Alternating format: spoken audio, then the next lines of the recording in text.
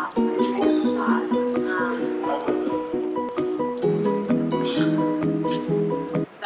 the question again. So I think that some people that can't do teach, and I think they can be very good teachers. For me, teaching comes out of doing, and I would suggest or talk about it as teaching is an extension of my practice.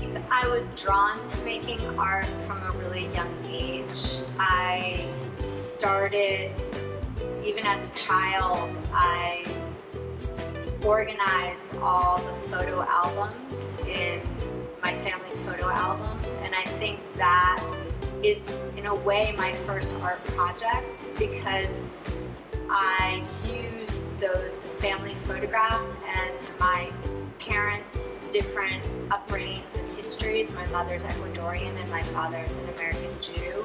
And I use them as a way to tell a story, a narrative about um, their different experiences and then and then how those experiences made them get together and have me and my sister and that was perhaps the first um, art project that I did although I didn't know it was an art project at the time.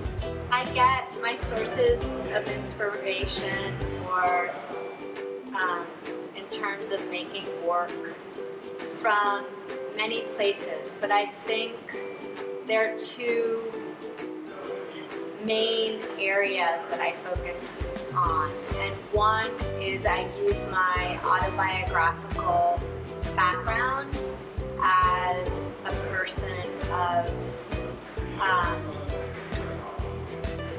mixed race and culture as an entry point into making work. And then I also think a lot about politics issues in the world that interest me as another uh, point of interest to make work. So teaching, when I started teaching, I realized that in teaching, I could continue to be myself as an artist and I could teach from that uh, place, right, as being an artist. And I tried a lot of different jobs when um,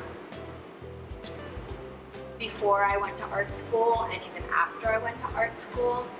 And one was as a curator, another was as an interpreter. And I enjoyed those jobs. They were, I used different skills. Um, certainly working as a curator, I got to see a lot of art, which was a great education. Favorite Ecuadorian food?